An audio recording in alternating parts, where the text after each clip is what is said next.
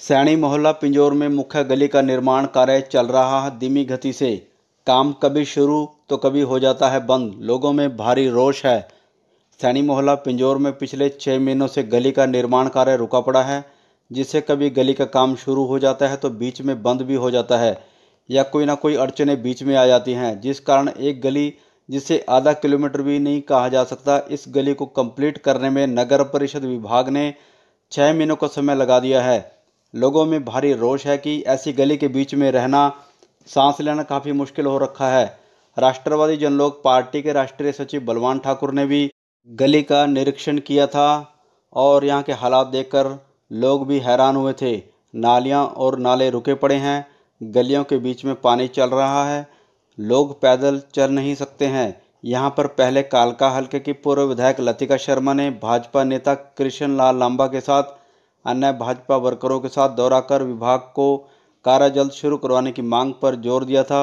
वहीं कालका हल्के से कांग्रेसी विधायक प्रदीप चौधरी ने भी वर्करों के साथ सैनी मोहल्ला के लोगों से बात कर जिला प्रशासन और हरियाणा सरकार से काम को शुरू करवाने की मांग की थी। लेकिन काफ़ी अरसा बाद सैनी मोहल्ला की मेन गली का कार्य शुरू तो हुआ, लेकिन काम काफ़ी धीमी गति से चल रहा है। लोगों में जिला प्रशासन और हरियाणा सरकार के खिलाफ भारी नाराज़गी है।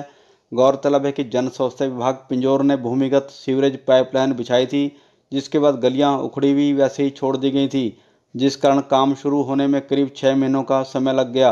अब काम शुरू है, देखते हैं कि गली निर्माण का कार्य कितने दिनों में खत्म होगा।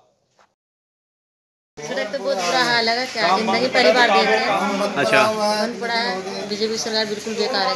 कितने महीने से ये काम ऐसे पड़ा है? तो साल ही हो गए इस तरह इस साल ही हो गया खुद भी कुछ तरह अच्छा। तो आपकी क्या मांग है? बस ये ये सड़कें साफ़ होनी चाहिए गलियाँ नालियाँ सारी साफ़ होनी चाहिए।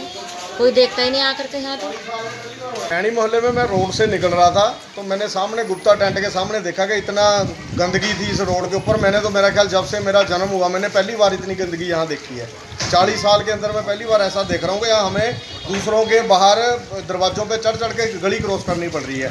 तो अब ये चक्कर क्या है? ये सारी जनता सारी परेशान हो रखी है इसमें, क्योंकि पहले तो बहाना होता था जी, सरकार हमारी है एमएलए किसी और का है। चलो, अब तो सेंटर में भी सरकार इनकी है, नीचे भी सरकार इनकी है, और कितने बीजेपी के नेता इस सड़क में आले? अभी तक आते हैं, फ़ोटो खिंचवा के चले जाते हैं, काम लगा नहीं है अभी तक। जनता इतनी परेशान है, फिर डेंगू की बीमारी फैल गई तो इसका जिम्मेदार कौन है? ये हम सरकार से पूछना चाहते हैं, अगर कोई बीमारी फैलती है इतनी गंदगी में, और किसी का बच्चा ऊपर नीचे हो जाता है तो उसकी जिम्मेवारी कौन लेगा?